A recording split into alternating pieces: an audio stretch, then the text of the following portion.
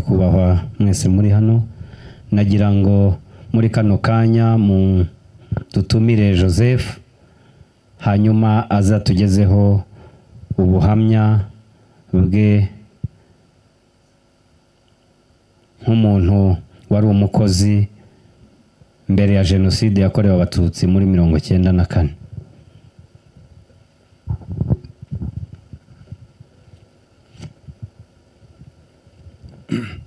Murakoze nyakubahwa meya ba nyakubahwa muteraniye hano namwe bavandimwe nongeye kubasuhuza mugire amahoro.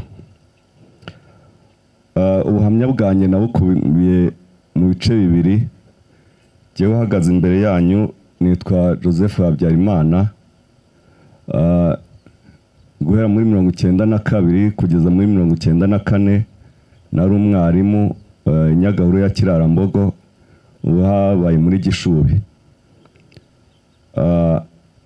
Nkaba ndi mwene siboniyo celestine eh, eh, wabaye veterineri wa komine mugusa nyuma veterineri wa komine nyakizu nyuma veterineri wa komine kigembe. Nkomoka mu murenge wa ngera akagari ka murama ni muri nyaruguru. Igice cya mbere eh, kirarebana n'itotezwa eh, twagiye dukorerwa mu buryo butandukanye. Ah, yenda ukuyemo kuba twarahagurutswaga mu ishuri ibyo byo byari bimenyerewe eh, tugatoranywa mu bandi bana. Ariko ndahera muri mirongo inani na gatanu ni bwo bwa mbere numvise ijambo rityaye eh, ryari umuyobozi wa komine burugumesitiri semanyenzi sitratoni wari umuyobozi wa komine kigembe. Aho mu gihe hatangazwaga amanota y'abana bemerewe kujya segonderi nanjye nari ndimo. Yaraje areba papa ahagarika imodoka ku muhanda aho twari dutuye aramuhamagara. Nanjye nari aho hafi. Ubundi nakekaga ko bari inshuti kuko yari yaramugabiye inka ariko naje kumenya ko bwari uburyo bwo kwigura kugira ngo mu kazi akora hajye hazamo imiyaga.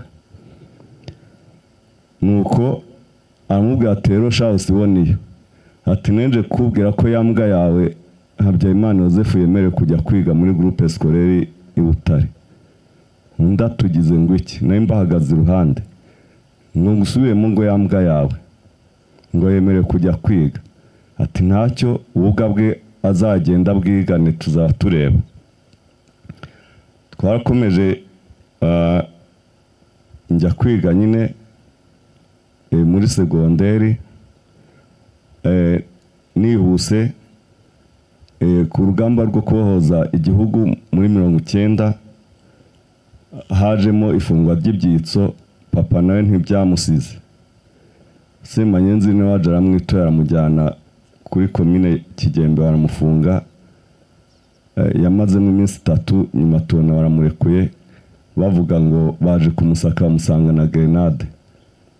Kandi rwose grenade na- nta niyo twari tuzi nta nayibonye nyuma. Nyuma y'aho ntangiye kujya mbonera abasirikare urugamba rwaratangiye. Ariko kubera ko nari nkiga muri gurupe icyo gihe haje kwaduka inkuru y'uko ngo abana b'abatutsi twanze kunywa icyayi baduhaga icyayi ku cyumweru. Eh, biba ngombwa yuko bamwe muri twe bameneshwa. Ndibuka witwa Fred Gakwaya ubu ni umunyamakuru kuri BBC we yahise atoroka ati ishuri. N'abandi babiri baragenda.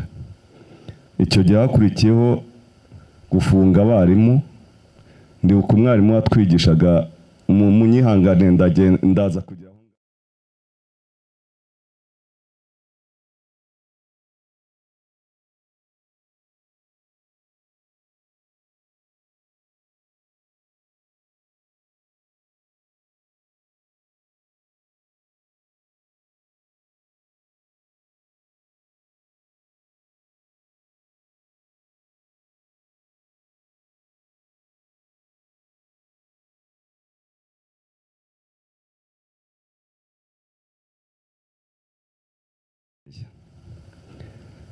reka rero nze kurangiza muri mirongo icyenda na kabiri nihe kujya kwa- kwaka akazi.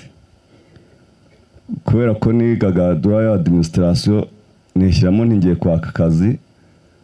Njya gusaba sukuveri wari porokeri ushishi. Cyakora mbere imfura ambwiza ukuri. Ati shawa agasore we. Wowe uragira ngo ujye kuba nagira ngo njye kuba ipeji wa komine nyakizu turagira ngo ujye kuba ipeji ujye ufunga ibyitso bene wanyu. Ati inama rero nakugira ati uzigire mu bwarimu. Nibwo ntashizwe njya ku inspector darondisoma arambwira ati rero ati muri komine kigembe na hehe ntahandi wapfa kubona akazi? Ati kereka ugiye mu ndara mu ndara sinari mpazi nahabajije papa. Nibwo mpereje shidutse nisanze aho i nyagahuru ariko mbere yo kuhaba eh, mbanza gucumbika ahantu muri muganza ncumbika ahantu mukuru wanjye ko yari umufundi yubaka ariya mateme ahuza cyumba na mugombwa n'akagari ka mugombwa yitwaga Fulgence Simbikango. Ndagenda mbayo kumbi simenye yuko aho acumbitse ari imbere yo kwa iwabo wa burugumesitiri ndambaje wari burugumesitiri muganza. Ndambaje aza kumenya amakuru yuko hari inyenzi ebyiri zaturutse muri kigembe zaje kuba muri serire ye. Abwira uwari responsable ati izo nyenzi zizahave zigende zisubire iwabo. Mfata umwanzuro wo guhita ncumbika noneho nuko nahungiye ubwayi mu kigunda ncumbika ahitwa mu gicaca aho ngaho i nyagahuru kugira ngo byibura ndambaje atazongera kujya ambona hafi y'iwabo aho ngaho. Eh, noneho tugeze muri jenoside muri mirongo icyenda na kane ku itariki ijoro ryo ku itariki eshatu rishyira karindwi nari mu kiruhuko. Impamvu mvuga nti wa muporokeri watumye ntajya kuba ipeji yenda eh, wahasanga yarangiriye nabi ku rundi ruhande ari inzira imana yacaga. Ni uko eh, jenoside yabaye ndi mu kiruhuko mbyuka nafunguye radiyo ya bbc ahagana saa saa kumi n'imwe ko nashaka kujya i kigali. Numva bavuze mu giswahili ko habyarimana yapfuye. Ikintu nahise nkora nagiye mpamagara papa ndamubwira ntuzi ko habyarimana yapfuye. Yahise arambwira ngo ijambo rimwe yarambwiye ngo akacu kashobotse ngo ariko muzabagabo. Ni iryo jambo mperuka twavuganye ubundi eh, tuguma aho ngaho bitarakara cyane aho muri icyo gice twarimo eh, byegereje ku itariki cumi n'umunani ni ho umuntu wa mbere bamutwikiye muri ako gace twarimo hariya mu kagari ka murama dufata umwanzuro wo guhunga. Ariko hagati aho abantu baturuka nyaruguru ba- barahungaga bahunganya inka. Nza kuba ari ujya gutaza wari konsera burenti rukara ntidore abantu batangiye kurya inka abantu bavuye nyaruguru mutiza igare ngo ajye ku- ku- kubwira uwari burugumesitiri. Icyo gihe semanyenzi ngo ajye kubashakira ababatabara ntibaboye gukomeza kubarira inka aho agarutse azana n'umupolisi witwa nyabenda wakoraga yari umushoferi wa komine kigembe agaruka ba- bantiruye igare mpagara imbere y'imodoka ngiye gufata rya gare nyabenda antera urushyi. Ati wowe watije konsi igare ryo kumara iki ati ko abantu bari mu kazi. Rero ubwo nahise mfata umwanzuro wo kugenda nihisha mu mazu ya rwayisemanyi jyewe. Ariko nsaba uwari umpishe ngo ampe uburenganzira ankingure ko yari yankingiranye aho ngaho. Eh, kuko uwitwa rwamigabo inosa ni n'ibindi bitero byaturukaga mu gahabwa ba- bari bamenye ko mpari. Aje kumpiga nsaba uwari wampishe nijoro ati reka nigendere. Njye ku biro bya komine kigembe nda- ndaharokokera. Hari abayobozi baho baragira impuhwe ko papa bakora- bakoranye. Ntihagire icyo bantwara. Ambwira reka da. Ati ahubwo eh, reka nkubwire inkuru. Ati kugira ngo berekane ko nta mikino ihari. Uwari peje wa komine kigembe ndamwibuka um, yari umugabo muremure w'inzobe ariko izina simbyibutse neza.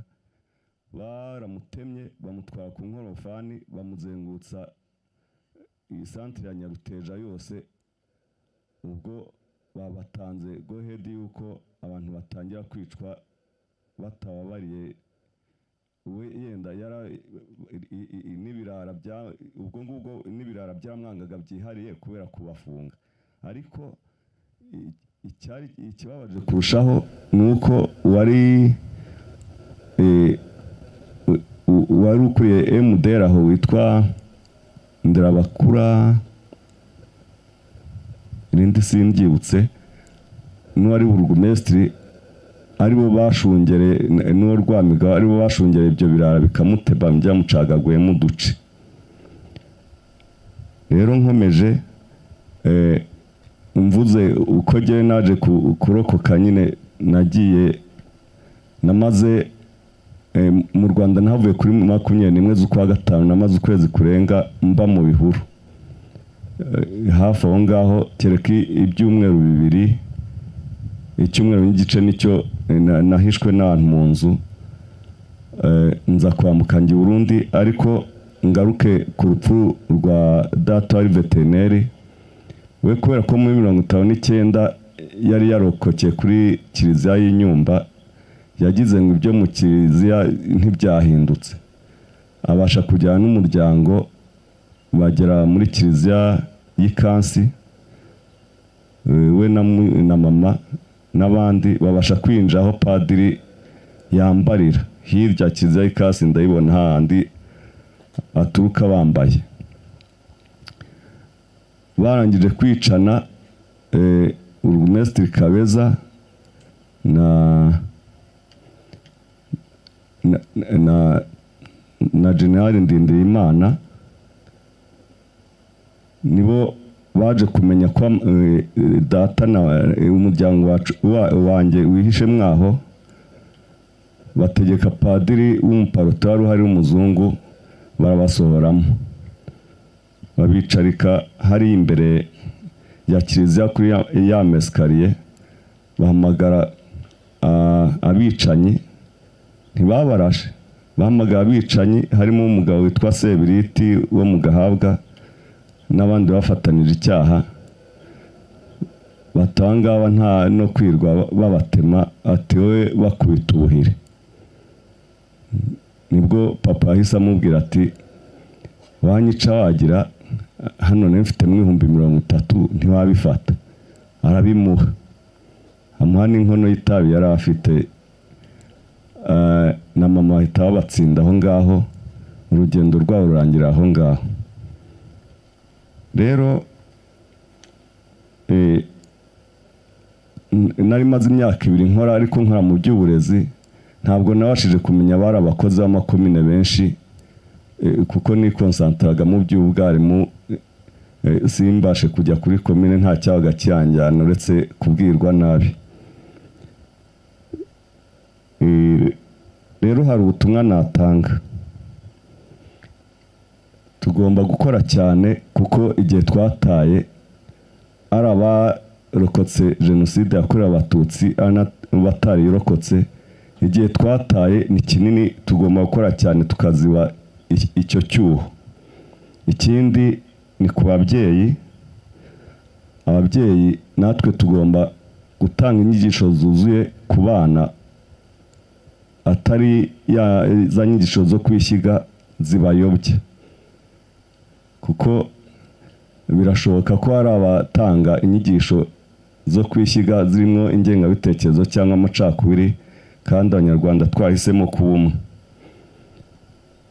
Ikindi ni ugushima. Nashimira mbere na mbere n'imana ikomeje kubana n'abanyarwanda. Ngashima ingabo zari za fpr eh, kuko inkotanyi ni ubuzima nk'uko wa muririmbyi yabivuze.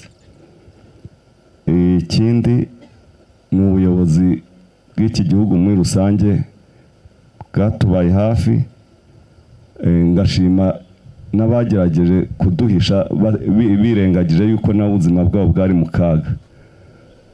Impamvu bagarutseho ni uko ngewe bahagaze imbere eh, nitwa umusaza w'abuzukuru batanu kuko jenoside ikirangira eh, hari abahutu ubwabo bampamagaye bati ngwino utwara abana ba bakuru bawe. Mbasha kureka ipera batanu Eh, farije barihira bariga ubu barashyingiwe n'abantu bakomeye. Iyo ndi kumwe eh, n'abakazana n'abakwe mba numva narongeye kubaho. Murakoze twibuke twiyubaka.